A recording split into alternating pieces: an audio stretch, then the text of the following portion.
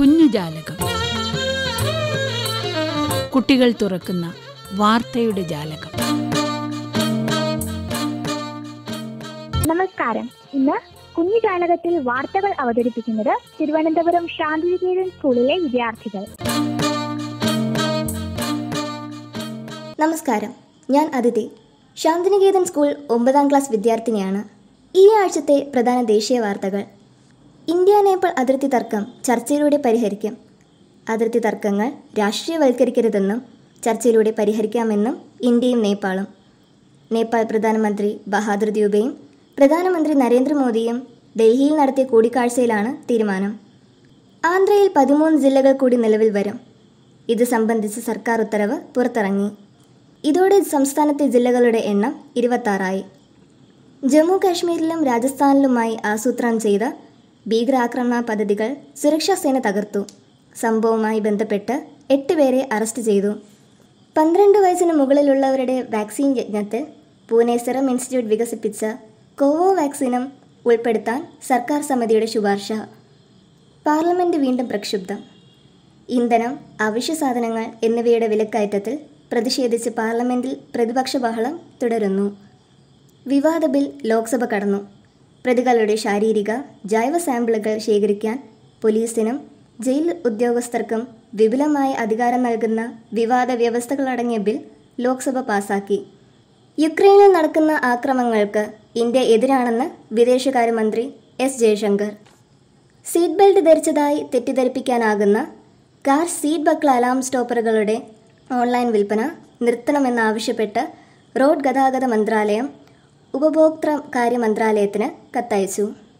നന്ദി നമസ്കാരം. നമസ്കാരം. ഞാൻ ഗോപിക ശ്രീകുമാർ. തിരുവനന്തപുരം ശാന്തിനികേതൻ സ്കൂളിലെ പത്താം ക്ലാസ് വിദ്യാർത്ഥിനിയാണ്. പാകിസ്ഥാൻ ശ്രീലങ്ക ഇസ്രായേൽ എന്നീ രാജ്യങ്ങളിലെ ഭരണ പ്രതിസന്ധിയാണ് പോയ വാരത്തെ ശ്രദ്ധേയമായ ലോകവാർത്തകൾ.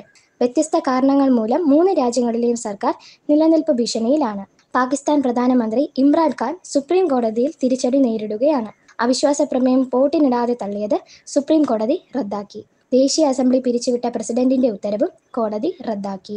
ഏപ്രിൽ ഒമ്പതിന് വോട്ടെടുപ്പ് നടത്താനാണ് സുപ്രീം കോടതിയുടെ ഉത്തരവ്. അവിശ്വാസ പ്രമേയം വോട്ടിനിടാതിരുന്ന നടപടി ഭരണഘടനാ വിരുദ്ധമാണെന്നും സുപ്രീം കോടതി വ്യക്തമാക്കി. മതപരമായ മൂല്യങ്ങൾ കൈവിടുന്നു എന്നാരോപിച്ച് ഭരണസഖ്യ ബിബ് ഈഡിത്ത് സിൽമാൻ രാജിവെച്ചതോടെ ഇസ്രായേൽ സർക്കാരിന് ഭൂരിപക്ഷം നഷ്ടമായി. നൂറ്റി ഇരുപത് സീറ്റുള്ള പാർലമെന്റിൽ അറുപത് സീറ്റാണ് പ്രധാനമന്ത്രി നഫ്താലി ബെനറ്റിന്റെ യാമിനി പാർട്ടി ഉൾപ്പെട്ട സഖ്യത്തിന് ഇനിയുള്ളത്. മുൻ പ്രധാനമന്ത്രി ബെന്യാമിൻ നെതന്യാഹുവിന്റെ സഖ്യത്തിന് അമ്പത്തിനാല് സീറ്റുണ്ട്. സിൽമാനെയും അനുകൂലികളെയും നെതന്യാഹു സ്വന്തം പക്ഷത്തേക്ക് ക്ഷണിച്ചിട്ടുണ്ട്. സാമ്പത്തിക പ്രതിസന്ധി മൂലം വലയുന്ന ശ്രീലങ്കയിൽ നാൽപ്പത്തൊന്ന് എം പിമാർ ഭരണസഖ്യം വിട്ടതോടെ മഹിന്ദ രാജപക്സെ സർക്കാരിന് പാർലമെന്റ് ഭൂരിപക്ഷം നഷ്ടമായി. പ്രസിഡന്റും പ്രധാനമന്ത്രിയും ഉടൻ രാജിവെക്കണമെന്നാണ് പ്രതിപക്ഷ ആവശ്യം. പ്രതിപക്ഷം അവിശ്വാസ പ്രമേയം കൊണ്ടുവരാനും സാധ്യതയുണ്ട്. രാജ്യമെങ്ങും കനത്ത പ്രക്ഷോഭം തുടരുകയാണ്. അവശ്യ വസ്തുക്കളുടെ ക്ഷാമം കൂടുതൽ രൂക്ഷമായി. യുക്രൈനിലെ കൂട്ടക്കുരുതി ഉൾപ്പെട്ട ക്രൂരതകളുടെ പേരിൽ റഷ്യയെ ഐക്യരാഷ്ട്ര സംഘടനയുടെ മനുഷ്യാവകാശ കൗൺസിലിൽ നിന്നും പുറത്താക്കി.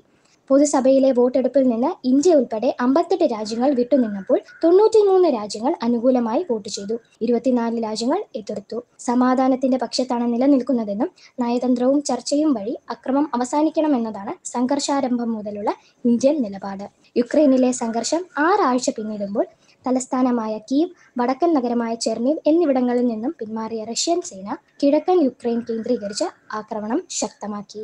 നന്ദി. നമസ്കാരം. ഞാൻ ഗൗരി നായർ ശാന്തിനികേതൻ സ്കൂളിലെ ഏഴാം ക്ലാസ് വിദ്യാർത്ഥിനി. ഈ ആഴ്ചത്തെ ശാസ്ത്ര വാർത്തകളിലേക്ക് സ്വാഗതം. ആയിരത്തി ഇരുന്നൂറ്റി തൊണ്ണൂറ് കോടി പ്രകാശവർഷം അകലെയുള്ള നക്ഷത്രത്തെ ദർശിച്ച് നാസയുടെ ഹബിൾ സ്പേസ് ടെലിസ്കോപ്പ്. ഇയറണ്ടൽ എന്നാണ് ഈ നക്ഷത്രത്തിന്റെ വിളിപ്പേര്. ഈ നക്ഷത്രത്തിന് സൂര്യനേക്കാൾ അൻപതിരട്ടി ഭാരവും ദശലക്ഷക്കണക്കിന് ഇരട്ടി പ്രകാശ തീവ്രതയും ഉണ്ടെന്നാണ് കണക്കാക്കിയിരിക്കുന്നത്. ഇന്ത്യയുടെ സമുദ്ര ഗവേഷണ പദ്ധതി സമുദ്രയാന്റെ ജലവാഹന പരീക്ഷണം വിജയകരമായി പൂർത്തിയാക്കി national institute of ocean technology. ആധുനിക വൈദ്യശാസ്ത്രത്തിനും മലിനീകരണ ശുചീകരണത്തിനും ഉപയോഗിക്കാവുന്ന കോശഘടനങ്ങൾ കൊണ്ടുണ്ടാക്കിയ യന്ത്രം മനുഷ്യനെ കണ്ടുപിടിച്ചിരിക്കുന്നു. ഇല്ലിനോയിലുള്ള ശാസ്ത്രജ്ഞരാണ് ഈ ബയോഹെബിറ്റ് റോബോട്ടിനെ സൃഷ്ടിച്ചത്. വൃക്ഷങ്ങളുടെ സെല്ലുലോസിൽ നിന്നുള്ള നാനോ ക്രിസ്റ്റൽസും മറ്റു ചില വസ്തുക്കളും ഉപയോഗിച്ച് ഒരു കാർ നിർമ്മിച്ചിരിക്കുന്നു. ഈ ഒരു ഘടകം ഉപയോഗിക്കുന്ന കാർ നിർമ്മാണത്തിന് പ്ലാസ്റ്റിക് പോലെയുള്ള സാമഗ്രികളുടെ ഉപയോഗങ്ങൾ വളരെ ചുരുങ്ങിയ തോതിൽ മതിയെന്നാണ്. യൂണിവേഴ്സിറ്റി ഓഫ് വാഷിംഗ്ടൺ സിയാറ്റിലെ റഷ് എന്ന ശാസ്ത്രജ്ഞയും കൂട്ടാളികളും കൊതുകുകൾക്ക് മനുഷ്യനോടുള്ള ആകർഷണം അതിന് ചർമ്മത്തിലെ ചുവന്ന നിറം കാണാൻ കഴിയുന്നത് കൊണ്ടാണ് എന്ന് കണ്ടെത്തിയിരിക്കുന്നു. ഇതുകൂടാതെ മനുഷ്യന്റെ ശ്വാസം ചർമ്മത്തിന്റെ മണം ചൂട് എന്നിവയും കൊതുകുകൾക്ക് മനുഷ്യനിലേക്ക് ആകർഷിക്കുന്നു. ഈ കണ്ടുപിടുത്തം കൊതുകുകളെ പ്രതിരോധിക്കാനുള്ള ഉപകരണങ്ങൾ നിർമ്മിക്കാൻ സഹായിച്ചേക്കാമെന്നും ശാസ്ത്രജ്ഞർ അഭിപ്രായപ്പെട്ടു. സൗരയുഗത്തിലെ ഏറ്റവും വലിയ ഗ്രഹമായ വ്യാഴത്തിന്റെ സമാന സവിശേഷതകളുള്ള പുതിയ ഗ്രഹത്തെ കണ്ടെത്തിയതായി ശാസ്ത്രലോകം. ഭൂമിയിൽ നിന്നും പതിനേഴായിരം പ്രകാശ വർഷം അകലെയാണ് ഈ ഗ്രഹം. കെ രണ്ട് രണ്ടായിരത്തി പതിനാറ് ബി എൽ ജി പൂജ്യം പൂജ്യം പൂജ്യം അഞ്ച് എൽ ബി എന്നാണ് ഈ എക്സോ പ്ലാനറ്റിന്റെ പേര്. ഏകദേശം വ്യാഴവും സൂര്യനും തമ്മിലുള്ള അതേ അകലമാണ് അപരനായ ഈ ഗ്രഹവും. അത് വലം വയ്ക്കുന്ന നക്ഷത്രവും തമ്മിലുള്ളത് നന്ദി നമസ്കാരം. നമസ്കാരം. ഈ ആഴ്ചയിലെ കായിക വാർത്തകളിലേക്ക് സ്വാഗതം. വാർത്തകൾ അവതരിപ്പിക്കുന്നത് നവനീത് എസ്റ്റിരൻ തിരുവനന്തപുരം ശാന്തിനികേതൻ ഹയർ സെക്കൻഡറി സ്കൂളിലെ ആറാം ക്ലാസ് വിദ്യാർത്ഥിയാണ്. ആവേശത്തോടെ കാത്തിരുന്ന ഫുട്ബോൾ ലോകകപ്പ് ഗ്രൂപ്പുകൾ സജ്ജമായി. ഇത്തവണ ഏഷ്യൻ രാജ്യമായ ഖത്തറാണ് ലോകകപ്പിന് വേദിയാകുന്നത്.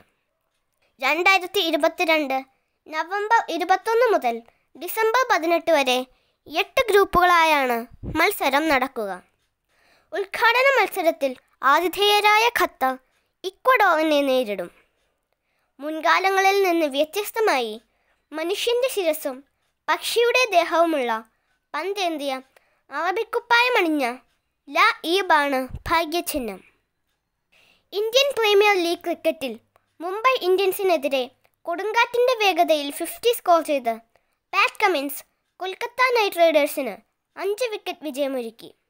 കേവലം പതിനഞ്ച് ബോളുകളിലാണ് കമിൻസ് അൻപത്താറ് റൺസ് എടുത്തത്. നാല് വിക്കറ്റിന് നൂറ്ററുപത്തൊന്ന് റൺസ് എടുത്ത മുംബൈക്കെതിരെ കൊൽക്കത്ത അഞ്ച് വിക്കറ്റ് നഷ്ടത്തിൽ ലക്ഷ്യം കണ്ടു. കൊറിയൻ ബാഡ്മിന്റൺ ഓപ്പണിൽ കായിക ഭാരതത്തിന്റെ സ്ത്രീ ശക്തിയുടെ പ്രതീകമായ പി വി സിന്ധു ക്വാർട്ടർ ഫൈനലിലും പുരുഷതാരം ശ്രീകാന്ത് രണ്ടാം റൗണ്ടിലും പ്രവേശിച്ചു. രണ്ട് വർഷത്തെ ഇടവേളയ്ക്ക് ശേഷം കൊച്ചി നഗരം ഐ എസ് എൽ ഫുട്ബോളിന്റെ വേദിയാകുന്നു. രണ്ടായിരത്തി ഇരുപത്തി മൂന്നിൽ ഈ വേദിയിൽ ഇത്തവണത്തെ രണ്ടാം സ്ഥാനക്കാരായ കേരള ബ്ലാസ്റ്റേഴ്സ് പത്തോളം കളികളിൽ പങ്കാളികളാകും. ഈ ആഴ്ചയിലെ കായിക വാർത്തകൾ അവസാനിക്കുന്നു. നന്ദി നമസ്കാരം. നമസ്കാരം. കൗതുക വാർത്തകളിലേക്ക് സ്വാഗതം. വായിക്കുന്നത് Sayujya S N J Shantiniketan school. Social മീഡിയയിൽ കഴിഞ്ഞ ദിവസങ്ങളിൽ വൈറലായി മാറിയ ഒരു ശ്വാനക്ഷേത്രത്തെക്കുറിച്ചാണ് വാർത്ത. വിട്ടുപിരിഞ്ഞ തന്റെ പ്രിയപ്പെട്ട വളർത്തുനായയുടെ ഓർമ്മയ്ക്കായി ക്ഷേത്രം പണിഞ്ഞ് പ്രതിഷ്ഠയായി നായയുടെ മാർബിൾ പ്രതിമ സ്ഥാപിച്ചിരിക്കുകയാണ് യജമാനനായ തമിഴ്നാട് ശിവഗംഗാ സ്വദേശി എൺപത്തിരണ്ട് വയസ്സുള്ള മുത്തു. ടോം എന്നാണ് നായയുടെ പേര്. ക്ഷേത്രത്തിനും ഇതേ പേര് തന്നെ. ചൊവ്വ വെള്ളി ദിവസങ്ങളിൽ ക്ഷേത്രത്തിൽ പ്രത്യേക പൂജകളും പ്രാർത്ഥനകളും ഉണ്ട് രണ്ടായിരത്തി പത്തിലാണ് ലാബ് ഇനത്തിൽപ്പെട്ട നായ മുത്തുവിന്റെ കയ്യിലെത്തുന്നത്. പെട്ടെന്ന് തന്നെ ഇരുവരും കൂട്ടുകാരായി മാറി. മക്കളെക്കാൾ ഇഷ്ടത്തോടെയാണ് മുത്തു ടോമിനെ നോക്കിയത്. പത്തു വർഷക്കാലം ഒപ്പമുണ്ടായിരുന്നു. രണ്ടായിരത്തി ഇരുപത്തി ഒന്നിൽ ടോം വിടവാങ്ങി. പിന്നാലെയാണ് തന്റെ പ്രിയപ്പെട്ട നായയുടെ ഓർമ്മയ്ക്കായി ക്ഷേത്രം പണിയാൻ മുത്തു തീരുമാനിച്ചത്. ഏതാണ്ട് ഒരു ലക്ഷം രൂപയോളം ചെലവിലാണ് മാർബിൾ പ്രതിമ അടക്കമുള്ള ക്ഷേത്രം നിർമ്മിച്ചത്. ക്ഷേത്രത്തിൽ മുത്തു ദിവസവും വഴിപാടുകൾ നടത്താറുണ്ട്. കൂടാതെ ആർക്കും ഇവിടെ വന്ന് പ്രാർത്ഥിക്കാനും സമയം ചിലവഴിക്കാനും അനുവാദവും നൽകിയിട്ടുണ്ട്. ഇതോടെ കൗതുക വാർത്തകൾ പൂർണമാകുന്നു. നമസ്കാരം. പ്രിയ ശ്രോതാക്കൾക്ക് വിനോദ വാർത്തകളിലേക്ക് സ്വാഗതം. ഞാൻ നീരജ പ്രവീൺ ശാന്തിനികേതൻ സ്കൂളിലെ ഏഴാം തരം വിദ്യാർത്ഥിനിയാണ്. കന്യാകുമാരി മുതൽ കാശ്മീർ വരെയുള്ള വൈവിധ്യങ്ങളുടെ മേളം തീർത്ത് തിരുവനന്തപുരം കനകക്കുന്നിൽ കുടുംബശ്രീ സരസ് മേള. ഇരുന്നൂറ്റി അമ്പതിലേറെ സ്റ്റാളുകളാണ് സരസ് മേളയിൽ ഒരുക്കിയിട്ടുള്ളത്. വൈവിധ്യങ്ങളാർന്ന ഭക്ഷണങ്ങൾ കൂടാതെ നാടൻ തേൻ എണ്ണ എന്തിന് നാടൻ ബൾബ് വരെ ഇവിടെ ഒരുക്കിയിരിക്കുന്നു. മാർച്ച് മുപ്പത്തൊന്നിന് ആരംഭിച്ച് ഏപ്രിൽ പത്ത് വരെയാണ് ഈ വൈവിധ്യങ്ങളാർന്ന മേള ഒരുക്കിയിരിക്കുന്നത്. കുളോടി തുഞ്ചൻ സ്മാരകം ലൈബ്രറി ഏർപ്പെടുത്തിയ പ്രഥമ തുഞ്ചൻ സാഹിത്യ പുരസ്കാരത്തിന് ശശി കളരിയലിന്റെ അമൃതായനം എന്ന പുസ്തകം അർഹമായി. പതിനായിരത്തി ഒന്ന് രൂപയും പ്രശസ്തി പത്രവും ശില്പവും ഉൾപ്പെടുന്നതാണ് പുരസ്കാരം. രണ്ടായിരത്തി ഇരുപത്തൊന്നിൽ പ്രസിദ്ധീകരിച്ച നവാഗത എഴുത്തുകാരുടെ രചനകളാണ് പരിഗണിച്ചത്. ഏപ്രിൽ രണ്ടാം വാരം ലൈബ്രറി ഓഡിറ്റോറിയത്തിൽ നടന്ന ചടങ്ങിൽ പുരസ്കാരം നൽകി. സത്യജിത് റേ ഗോൾഡൻ ആർക്ക് പുരസ്കാരം അഞ്ചിൽ ഒരാൾ തസ്കരന്. മൂന്ന് അവാർഡുകളാണ് ഇന്ദ്രൻസ് കേന്ദ്ര കഥാപാത്രമായി സോമൻ അമ്പാട് സംവിധാനം ചെയ്ത ചിത്രത്തിന് ലഭിച്ചത്. മികച്ച ഫാമിലി ത്രില്ലർ പുതുമുഖ നായകൻ നവാഗത സംഗീത സംവിധായകൻ എന്നീ അവാർഡുകളാണ് ചിത്രത്തെ തേടിയെത്തിയത്. തബലയിൽ വിസ്മയമൊരുക്കി ഇന്ത്യ ബുക്ക് ഓഫ് റെക്കോർഡ്സിൽ ഇടം നേടിയിരിക്കുകയാണ് പാർവതി ഉണ്ണികൃഷ്ണൻ എന്ന പത്ത് വയസ്സുകാരി. നാൽപ്പത്തി ആറ് മിനിറ്റും മുപ്പത്തി ആറ് സെക്കൻഡും തബല വായിച്ചാണ് പാർവതി ഏറ്റവും കൂടുതൽ സമയം തബല വായിക്കുന്ന കുട്ടി എന്ന സ്ഥാനം നേടിയത്. നെടുമുടി വേണു അവസാനമായി അഭിനയിച്ച ചിത്രങ്ങളിലൊന്ന് എന്ന പ്രത്യേകതയോടെ എന്റെ മഴ എന്ന ചിത്രം ഏപ്രിൽ എട്ടിന് റിലീസിനൊരുങ്ങുന്നു. ആരാധകർ ഏറെ പ്രതീക്ഷയോടെ കാത്തിരിക്കുന്ന മമ്മൂട്ടി ചിത്രം C B I five rain teaser എത്തി. ചിത്രം ഏപ്രിൽ അവസാനം തിയേറ്ററുകളിലെത്തും. നീണ്ട ഇടവേളയ്ക്ക് ശേഷം ജഗദീഷ് ശ്രീകുമാർ അഭിനയിക്കുന്നു എന്ന പ്രത്യേകത കൂടി ഈ സിനിമയ്ക്കുണ്ട്. നന്ദി നമസ്കാരം. ഇന്ന് കുഞ്ഞു ജാലകത്തിൽ വാർത്തകൾ അവതരിപ്പിച്ചത് തിരുവനന്തപുരം ശാന്തിനികേതൻ സ്കൂളിലെ വിദ്യാർത്ഥികൾ. കുഞ്ഞു ജാലകം സമാപിക്കുന്നു. വീണ്ടും അടുത്തയാഴ്ച ഇതേ ദിവസം ഇതേ സമയം.